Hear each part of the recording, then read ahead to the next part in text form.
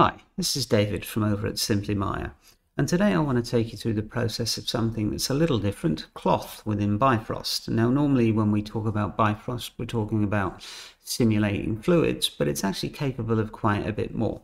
So I've built this small table here and now we're going to drape a tablecloth over it. It's not complicated, but it will get you used to the node chains and the workflow of creating cloth within Bifrost. So before we start, it's worth noting that you need Bifrost loaded, so you need to go up to Windows, Settings, Preferences, Plugin Manager, and just make sure Bifrost plugins are actually loaded. I don't believe they are by default on Maya 2022.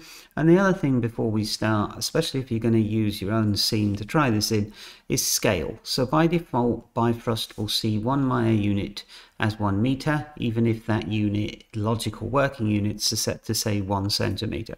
So you can either scale your objects down or I'll show you how to change this in Bifrost itself in a second. I would recommend though if you're just experimenting with Bifrost for the first time, just stick to one grid unit being one meter and you won't have unexpected results. Um, so to start us off, I'm going to just pop open a basic Bifrost graph. So you'll see we're not using any of the traditional fluid containers here. We're just going to pop open a graph and we're going to create graph.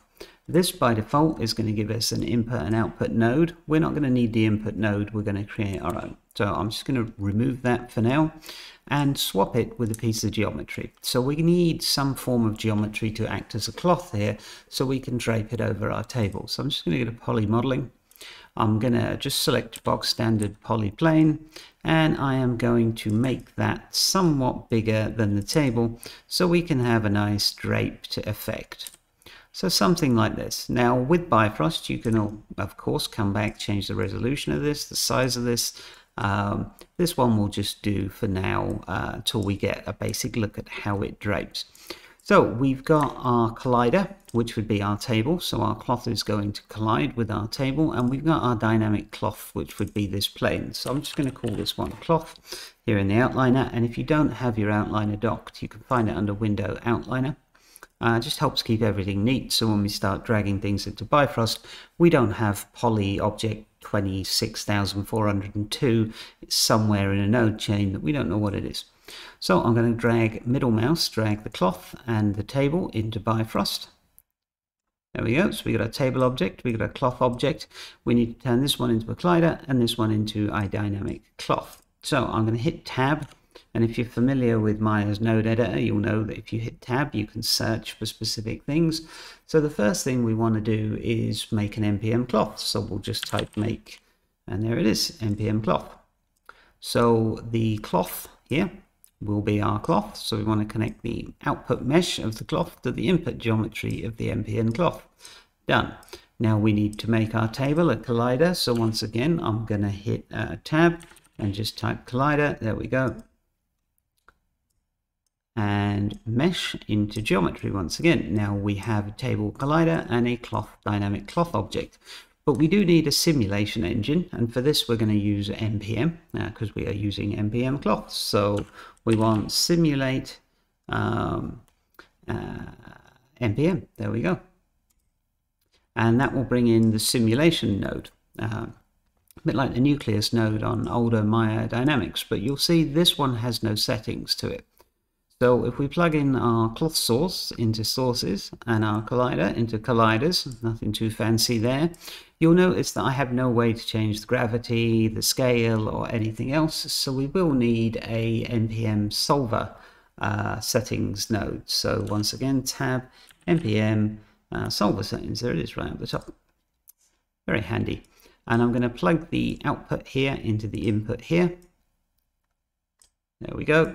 And this will give me all the settings for this particular solver. So I can change the detail size, which will change the detail in the simulation. Uh, that also has to do with um, the number of subdivisions the thing you're simulating has. So this won't be able to get any more detailed than one square, which is huge squares. So we're not going to get a detailed cloth drapery.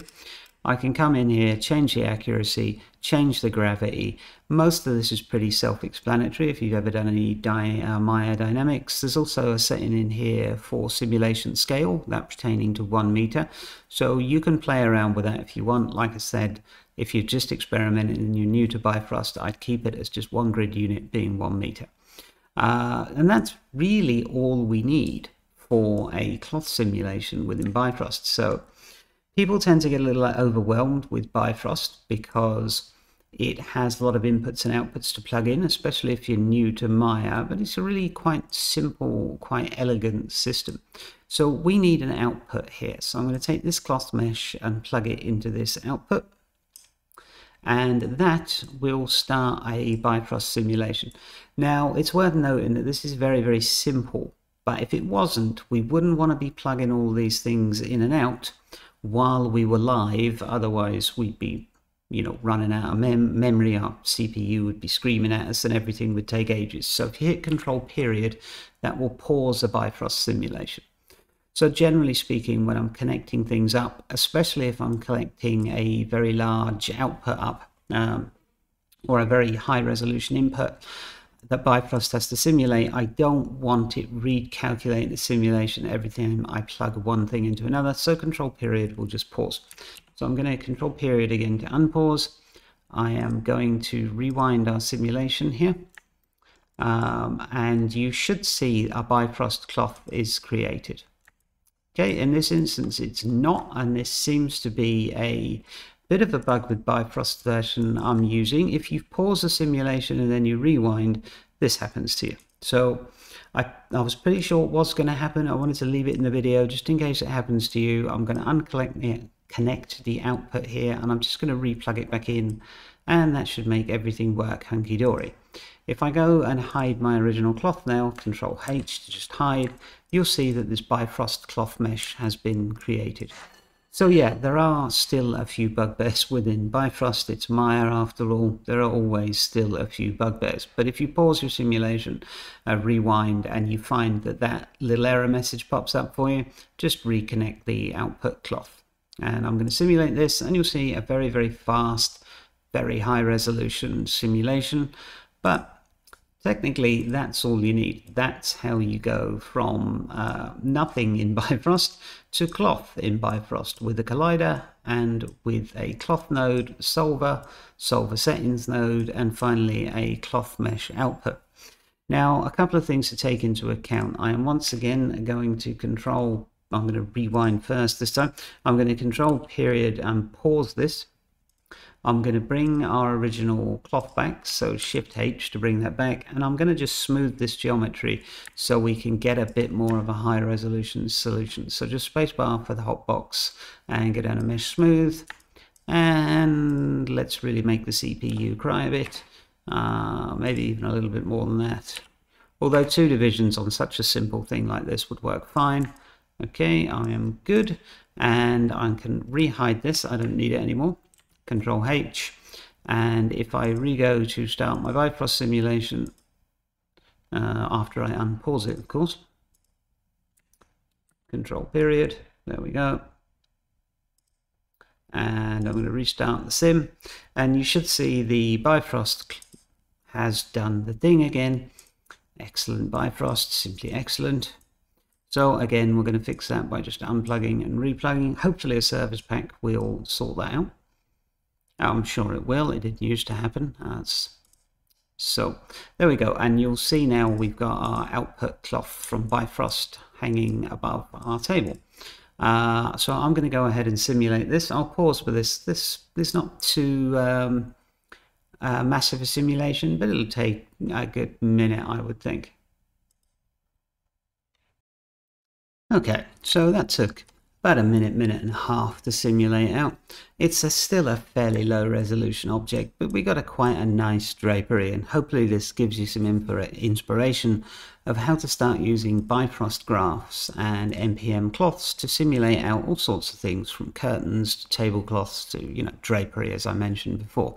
Now, there's one other thing that I want to cover quickly in here because it's something that comes up a lot, and it's the fact that this is indeed a simulation. This is not standard Maya geometry, it's part of a Bifrost graph. So a problem probably might uh, run into is if you simulate out some curtains and stuff for a interior scene, you're going to have to re-simulate that every time you want to render the scene, and that's probably not what you want. So I'm guessing for the vast majority of work, you'll just want the final output, the last frame of the simulation. You won't want all of the simulation data. So you want to be able to do something like uh, throw some cushions on the floor and then just take the output from that sim rather than the animation of it. So there is a fairly simple way to do this in Maya. I'm going to go up to Window and Node Editor and that should bring up my uh, Bifrost graph. If it doesn't, you can just click Bifrost graph here and hit graph and there you go, that will be up. Uh, if you're not seeing the outputs, it's this button here if you're not used to the node editor. And you can see here that this is my Bifrost graph. So what I'll need is a piece of geometry. So I'm just going to get a poly modeling and use a box standard polyplane because this is indeed a polyplane.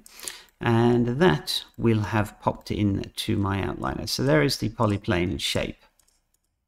Okay, so I'm going to need to take this and connect it to that, but I need a node in between. So I'm going to go to uh, BIF and I'm going to look for Bifrost material to Maya.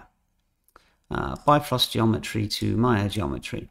So I'm going to take the cloth mesh, which is the Bifrost geometry, and plug it into this node here. I'm going to take the output from this node here, Maya mesh 0, and I'm going to plug it into the polyplane here. Uh, actually, that's the polyplane transform node. I'll need its shape node. So you'll see the polyplane here has got a shape connected to it. We don't need this. We're just going to delete it. And we're going to take, once again, the Maya Mesh 0, and we're going to plug it in to the in mesh here. Okay, if I look here now, you'll see that that polygon plane is a perfect representation of our table. If I then delete the history from the polygon plane, delete by type history, I can now delete the Bifrost graph and everything else. So I'm just going to delete the Bifrost graph, delete the original cloth, and I've got a table with a tablecloth and it's all my geometry, it's box standard, texture it, take it to ZBrush, do whatever you want with it.